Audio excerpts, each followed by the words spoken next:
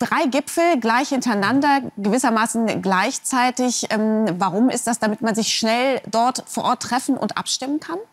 Ja, das ist ziemlich einmalig, dass man das heute so macht. Aber man sieht jetzt mehr als jemals in den letzten Jahren, wie wichtig äh, sozusagen die USA für Europa sind und wie wichtig der Schutz der USA für Europa sind. Ja? Ähm, wir haben ja dann immer früher, die Europäische Union hat sich getroffen und hat über eigene Verteidigungsbereitschaft oder so gesprochen. Jetzt sieht man, wir haben überhaupt keine Verteidigungsbereitschaft. Erstmal kommen jetzt die Amerikaner, erstmal kommt Joe Biden sozusagen als wichtigstes NATO-Mitglied und dann stimmt man sich jetzt erstmal mit den Amerikanern ab, was man jetzt in so einer existenziellen Bedrohungssituation macht. Und dann danach gibt es den Gipfel von der Europäischen Union. Und da gehen natürlich alle schon auch von den Amerikanern gebrieft rein, ähm, damit das, was die Europäische Union danach äh, beschließt, auch irgendwo in der, Gesamt, ähm, in der Gesamtstrategie des Westens sich ähm, in, in dieser Linie befindet. Also eine Gesamtstrategie des Westens ist ja jetzt auch ganz wichtig in Bezug auf diese neue Finte des russischen Präsidenten, der jetzt gesagt ja. hat, also Öl und Gas gibt es nur noch gegen Rubel. Ja. Können die westlichen Länder nicht machen. Sie würden ihre eigenen Sanktionen äh, damit unterlaufen. Das heißt, da muss eine gemeinsame Reaktion her. Gibt es da eigentlich noch was anderes als einfach Gas und Öl Hand zudrehen? Schwierig, nicht mehr viel. Ja?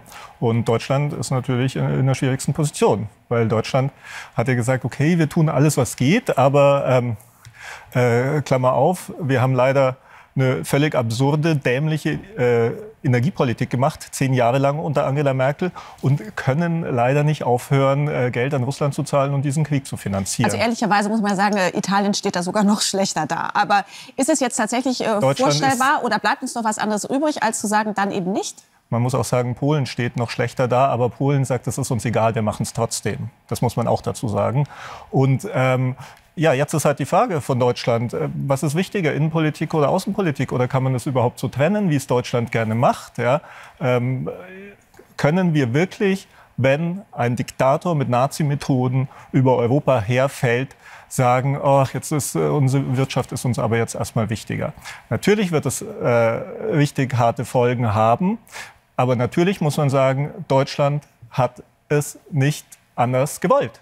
Zehn Jahre lang waren die Warnungen von allen Ländern, von allen Ländern Osteuropa, USA, Großbritannien. Bindet euch nicht so sehr an Russland. Ja? Jetzt stehen wir da als, als Bittsteller und wir sagen, bitte, bitte lasst uns Putin weiter Geld geben. Nur jetzt, wo es gegen die Sanktionen geht, die schon beschlossen sind, wird das natürlich viel schwieriger äh, durchzuhalten. Jetzt kann man, jetzt weiß ich nicht, was heute passiert. Vielleicht hat man noch mal eine Idee, wie man Deutschland irgendwie noch mal mit mehr Gas von irgendwo anders her helfen kann. Aber sinnvoll scheint langsam nur noch äh, ein Importstopp oder zumindest eine krasse Drosselung zu sein. Ähm, aber Deutschland steht jetzt heute da nackt nach zehn Jahren verfehlter Russlandpolitik. Und ist da jetzt vielleicht die Regierung nicht ehrlich genug? Denn es ist ja jetzt schon ähm, viel zu hören von der Bevölkerung, auch in Deutschland, zu sagen, die Regierung soll jetzt nicht noch mitverdienen an den höheren Spritpreisen. Wir brauchen da Entlastung. Und für viele scheint auch gerade das größte Problem am Ukraine-Krieg zu sein, dass jetzt man selber mehr fürs Tanken und Heizen bezahlen muss. Muss nicht die Regierung sagen, das ist eben der Preis dafür? Das muss sie sagen. Traut sie sich aber nicht. Nein, das traut sie sich nicht. Ja. Ähm, wir sagen das schon lange, ich, ich sage es auch jeden Tag und da werde ich dann zumindest von 50 Prozent der Deutschen immer dafür verdroschen, dass ich das sage als, als Kriegstreiber und jemand, der sich dazu leicht macht. Ja. Die anderen 50 Prozent sagen, äh, genau so ist es. Ja, wir müssen da ehrlich sein. Ja, ähm, es ist ein schönes Wunschdenken, äh, in das sich die Deutschen hier flüchten. Aber wir sind jetzt in, in, einem existenziellen Problem. Und wenn das die Regierung nicht mal zugibt, dann finde ich das wirklich schwach. Einer, der Einzige, der es wirklich halbwegs zugibt, ist Robert Habeck, ja, der ein aufrechter Politiker ist mit Herz. Ja, der sagt, okay, wir haben Mist gebaut, wir versuchen es besser zu machen.